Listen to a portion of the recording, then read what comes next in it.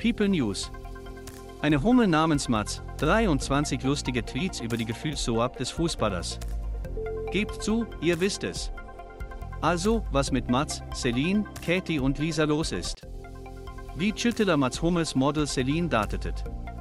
Nachdem er ihr mit den Worten Oh Gott ja geschworen hatte, Single zu sein. Wie Celine dies seine noch Ehefrau Katie wissen ließ. Wie cool Katie reagierte.